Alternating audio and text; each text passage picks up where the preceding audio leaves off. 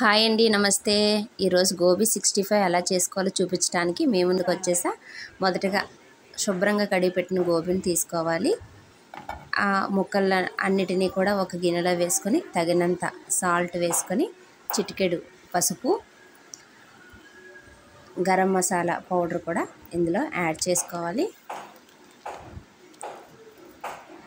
కొత్తిమీర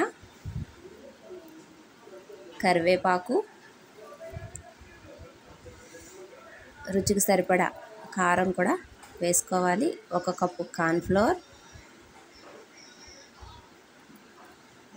ఒక కప్పు శనగపిండి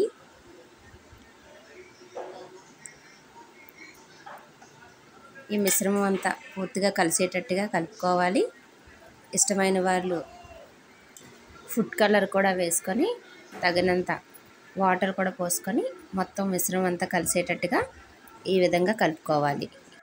ఈ మిశ్రమాన్ని పక్కన పెట్టుకొని స్టవ్ మీద ప్యాన్ పెట్టుకొని అందులో ఆయిల్ వేసుకోవాలి. ఆయిల్ హీట్ అయిన తర్వాత అందులో మనం గోబీలు వేయించుకోవాలి.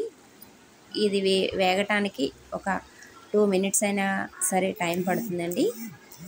ఇలా మధ్యలో ఒకసారి కలుపుకుంటూ ఉండాలండి. చాలామంది పిల్లలు గోబీ కర్రీని ఇష్టపడరు కదండి.